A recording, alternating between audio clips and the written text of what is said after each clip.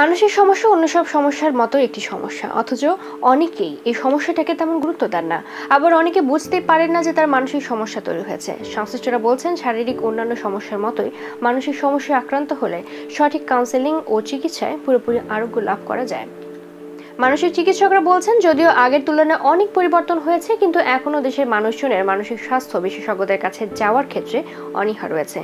শারীরিক বেদনার মতো জটিলতা তৈরি না হয়, অনেকেই বুঝতে পারেন না কখন আসলে তাদের চিকিৎসকের শরণাপন্ন হওয়া উচিত।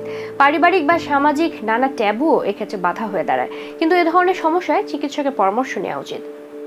এবার আসুন জেনে নেই সঠিক কি ধরনের আচরণ বা উপসর্গ দেখা গেলে চিকিৎসকের সাথে যোগাযোগ করা উচিত। যখন কোনো ব্যক্তির আচরণ, ব্যবহার বড় ধরনের পরিবর্তন দেখা যায়, বিশেষ করে তার আবেগীয় প্রকাশে পরিবর্তন আসে এবং সেটি তার দৈনন্দিন কর্মকাণ্ডের সম্পর্কে প্রভাব ফেলতে শুরু করে, তখনই তার প্রতি মনোযোগ দিতে হবে।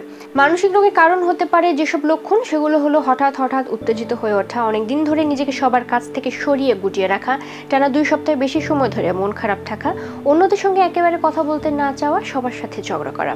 মানসিক রোগের লক্ষণগুলো হলো গায়েবী আওয়াজ বা কথা শুনতে পাওয়া, অন্যদের অকারণে সন্দেহ করতে শুরু করা, গোসল বা দাঁত মাজার মতো নিয়মিত প্রাত্যহিক কাজ বন্ধ করে নিজের প্রতি যত্ন না নেওয়া, যেসব কাজে আনন্দ পাওয়া যায় সেসব কাজে নিরানন্দ ও আগ্রহ কমে যাওয়া, সামাজিক সম্পর্ক থেকে নিজেকে সরিয়ে নেওয়া। নিজেকে নিয়ে নেতিবাচক চিন্তা করা বা নিজেকে দায়ী মনে হওয়া সব কিছুতে সিদ্ধান্তহীনতা বা মনোযোগ কমে যাওয়া এবং খুব তীব্র হলে আত্মহত্যার চেষ্টা পরিকল্পনা ও চেষ্টা করা। অতিরিক্ত সূচিবায়ুগ্রস্ত হয়ে ওঠা, ঘুম অস্বাভাবিক কম বা বাড়তে পারে, খাবারে অরুচি তৈরি হওয়া বা রুচি বেড়ে যাওয়া, বাসার অফিসের বা পেশাগত কাজের প্রতি অনীহা তৈরি হওয়া বা আগ্রহ হারিয়ে ফেলা। তবে এই সমস্যাগুলোর মানেই যে তার মানসিক রোগ হবে তা নয়। তবে এসব উপসর্গ বা লক্ষণ দেখা গেলে একজন মানসিক রোগ বিশেষজ্ঞের সাথে কথা বলা উচিত। বিশেষজ্ঞরা বিশ্লেষণ করে বুঝতে পারবেন যে এখানে আসলে কোনো ব্যবস্থা নেওয়া উচিত কিনা।